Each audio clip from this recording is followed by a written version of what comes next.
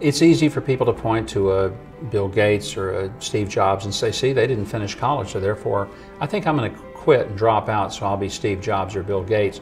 But they are so the exception because chances are the average is a person who gets a college degree versus a high school diploma, that person will earn a minimum of a million dollars more in his or her lifetime just because of the education and the opportunities that will, it will immediately open up. Um, a Christian education, I think, is only valuable if it's really a Christian education. Just going to a school that has church affiliation may not necessarily be an education in a Christian worldview. I appreciate schools like Regent that unapologetically say that you know we're going to teach our courses from the perspective of a classical Judeo-Christian ethic with a Christian worldview, with a Bible-centered understanding of life, uh, and, and not back away from that.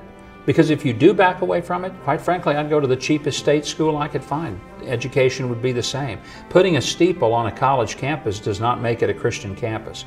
It requires something that is going on in the dynamic of that classroom with a commitment of the faculty to teach from a Christian perspective.